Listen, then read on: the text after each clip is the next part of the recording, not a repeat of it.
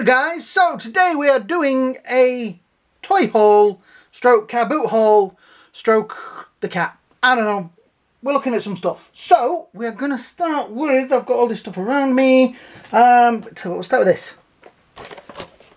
Sherlock, the action figure. Now, I was at the caboot yesterday, picked this one up um, for £2. The box has had a few dints in there, a few moments. There's Mr Cumberbatch on the back. Sherlock. Somebody lost a quiz the other day because they asked for things that had Benedict Cumberbatch in it and they gave the answer of Sherlock Holmes and they didn't allow it because they said, well, technically it's Sherlock. Oh no. So there is the nice um, little artwork. It's kind of weird that it has all this box and that's just the bit that's kind of advertising him. Yeah, that's, I don't know, seems kind of weird. But anyway, it pack includes violin, uh, phone, skull and Sherlock.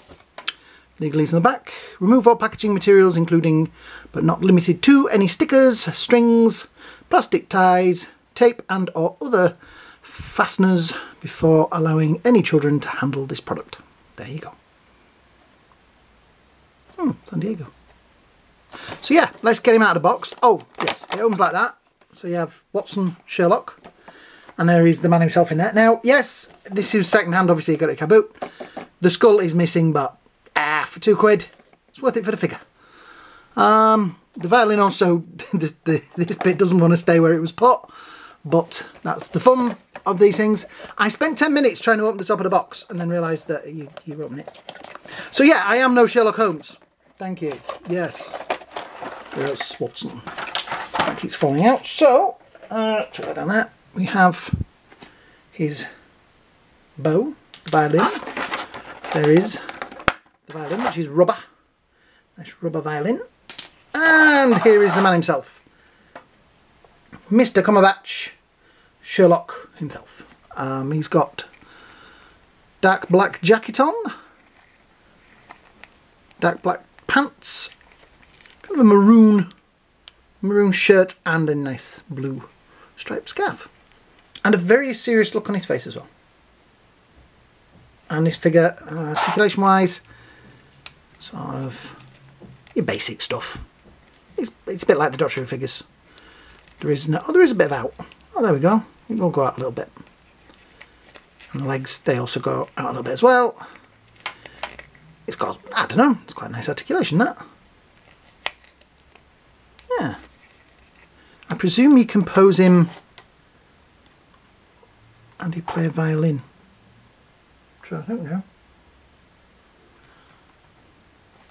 It must be that way around. Ah, that's got the chin rest on it, so I guess it would be.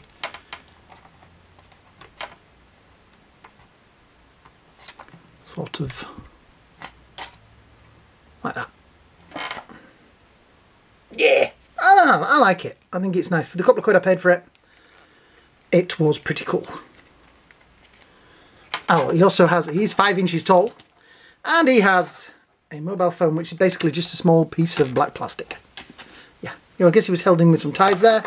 So that was a pretty cool purchase. I, I must admit I got really excited when I saw that. I was like, oh, I'm having that.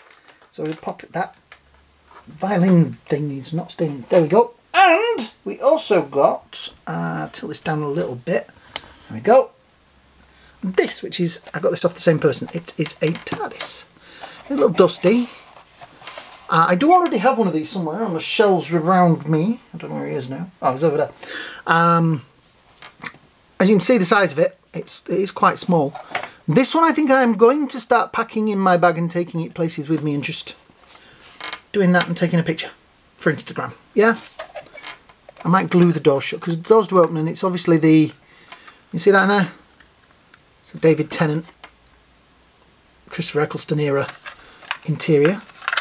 The doors do not all the stickers are right but I say I might glue the door shut because it is a there's much matter it is a bit of a problem you know keeping the door closed. Uh, so while we're on the subject of Doctor Who oh by the way that cost me the Ramsden total of 50p which I was really happy with we got also this which is a um, Funko TARDIS, as you can see. Uh, I didn't get a figure with it, but I already had a David Tennant. So, yeah. Uh, the doors do... Well, one door opens, the other door is... Yep, that's locked. That one door does open. It, it's kind of weird because it's, it's hollow in there, so you can, I guess, your doctor inside it like he's peeping out. That's it's really weird because that looks like a that looks like a sticker, but it's actually kind of printed on it. You cannot scratch it off, as is that, which is nice. Very nice. Yeah, I kind of like this. I am still trying to get the um, B&M TARDISes, and it's oh, it's become a right job. I can see everybody else seems to have them except for me. So, yeah. I will get them eventually. So, what else do we have? Oh, we'll show you these. These aren't really um, action figure but they are cool enough to get them in the Kaboot. It is a tin, let me do that, to keep your sandwiches in from uh, Fallout. Yeah, Fallout 111, whatever. And it opens up in there, and it has a keychain, shot glass, and some kind of postery thing, I think, like a banner, which is nice. Um, and it does need dusting, that does lock. I also got that, which I, th I think probably goes in it. He has got a few scuffs on his face. I'm going to try and clean that up a bit. But you do know what that means, don't you? The him sticking the thumb out. That's how far away the nuclear explosion is. It's a great way of telling, apparently. If you're ever going to be in a nuclear explosion. Yeah, so I got that. That was pretty good. And we also got a Nuke Cola. Um, what is it? Book thing. It's, it's, a, it's a journal yeah, with Nuke Cola written in the bottom corners. But I just love that artwork. I think it's brilliant. I, I, I like that old sort of sci-fi artwork. I also got a hoodie um, that goes with it, apparently. But you won't be able to see much of this because I can't really... But yeah, it's got that on the front. And down the back. And it's, it's blue. It's a hoodie. Yeah. Which is very nice. Oh, I also got a baseball hat. Which is kind of nice. Yeah. Nuke Cola. Oh, I also got, I keep getting excited about this. That as well, which is a, now everybody pay attention here, it is a lentricular, that's right, lentricular print of Batman and Robin. And this is my Batman. This is a Batman I, I grew up, well, I didn't grow up with, but my dad had comics of him. And they're the ones I read. So there you go, that's that one. So now we have, and I hope you've all hung around for this, the best part of the show. So I woke up to this Kaboot uh, last week and I see something, and you know when you, you have that moment where you go, oh my. So we have, and there's something strange in your neighbourhood. Who are you going to call? The Ghostbusters. That is right. Now I think, because I've been trying to find out online, these are like with Mattel made figures. Um, I I already have, so do it there, Peter and Ray, which I picked up uh, a while ago in a toy store that was clearing them out. And I was like, oh, I've got one of them. These two I, I later tried to get and they were just so expensive and I kind of gave up. But these, the all of them, it was a fiver. And I was like, yeah, I'm having them. The weird thing is, right, the, the likenesses on these guys is pretty close. But look at Peter. I mean, that is... Do that they never get Peter right. I think they get upset because his, his hair's thinning, and I don't think he'd be happy if they showed him with thinning hair. So, if you guys like these and you want me to do a full like rundown of these in their own video, then please leave a comment at the bottom because you know I'm always looking for more things to show off. Yeah, that's Pete. Ray's not too bad. And he has this. Uh, Pete has his backpack's obviously missing, but the one I have already has that, so I'll cover the ears. But Pete, Pete and Ray will be going in my spares box. But yeah, that is a nice proton pack. Very nice. And they've got, you know, some of the accessories and things around here. Uh, I think that cable may have broken, but yeah. I like them. I, th I think they are Mattel. I'm sure somebody will tell me that who made these, but I have a review of Pete and Ray, ooh, that I did back in the Dark Ages. I'm sure you guys can find that. Yeah, they're very nice, very nice figures. Look at that face. He looks a bit like Harold Lloyd. Go back and look at that. It's a guy from black and white films.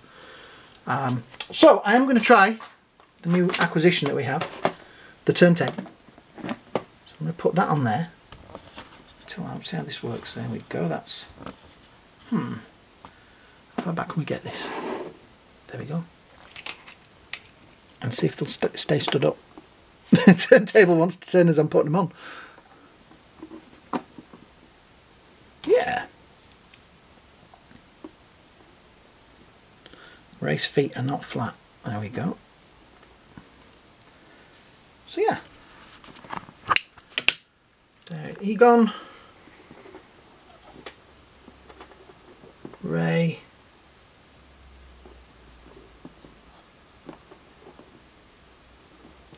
Peter. And Winston. Yeah or Zeddemore, as it says on his top. So yeah, I am pretty proud with what I got this. You know, sometimes you go to car boots and you come back and you think, well, I got nothing there. Um, but this this last couple of weeks, I do feel like I've picked up some pretty good stuff. Um, I know that last the other week I did miss a huge Darth Vader uh, and some other stuff, but Oh well, no, no day is perfect, is it? There we go, put that back there. Put that in there and the nice thing about this is look he's he's reasonably oh, similar scale they're actually quite tall the Ghostbusters I didn't really realise that he was a bit smaller so yeah that is some of I won't put the rest of it on because it'll take up too much room. That is pretty much my car boot haul for the last couple of weeks. Or my tow haul, or whatever you want to call it. So, yeah. I hope you guys have enjoyed this. Um, hope you all have a great day. Hope you have a great night. And like, share, subscribe. And I'll see you all in the next video.